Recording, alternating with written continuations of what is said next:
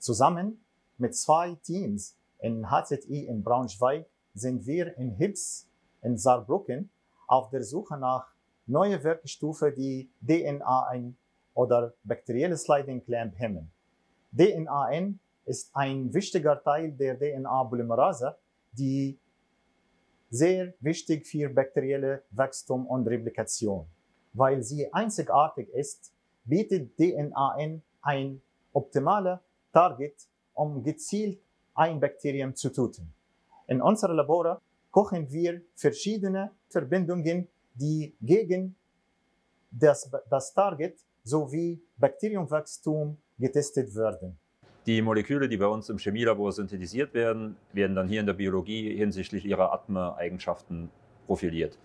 Diese Informationen dienen zur Vorbereitung unter anderem von In-vivo-PK-PD-Versuchen bei unseren Kollegen in Braunschweig.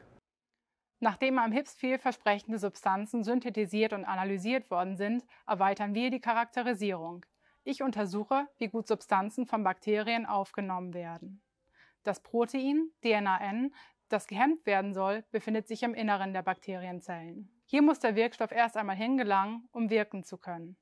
Um dies zu untersuchen, inkubiere ich Bakterien mit den Wirkstoffkandidaten für eine bestimmte Zeit. In dieser Zeit können die Substanzen von den Bakterien aufgenommen werden. Danach arbeite ich die Proben auf und bereite sie für die Analyse vor. Mittels Massenspektrometrie kann ich dann genau bestimmen, wie viel von der Substanz an seinen Wirkort in der Bakterienzelle gelangt. Anschließend untersuchen wir die Pharmakokinetik einer Substanz. Was heißt das Pharmakokinetik?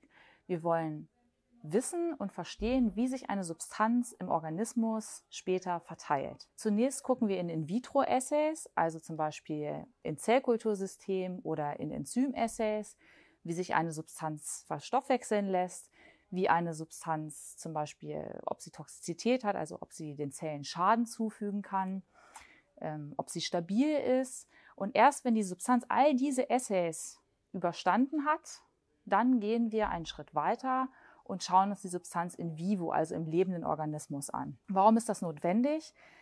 Im In-vitro-System können wir leider noch nicht komplett feststellen, wie sich die Substanz später verteilen wird. Und das ist das, was wir am Ende in dieser Pharmakokinetik-Studie herausfinden wollen. Also kommt die Substanz auch dort an, wo wir sie wirklich brauchen. Also zum Beispiel bei Lungeninfektionen muss sie am Ende in der Lunge ankommen, auch wenn wir sie erstmal ins Blut gegeben haben. Und wenn die Substanzen dann in diese Pharmakokinetik-Studien gut überstanden haben, geht es dann einen Schritt weiter und wir gucken, wie effektiv ist sie wirklich im Rahmen einer Infektion.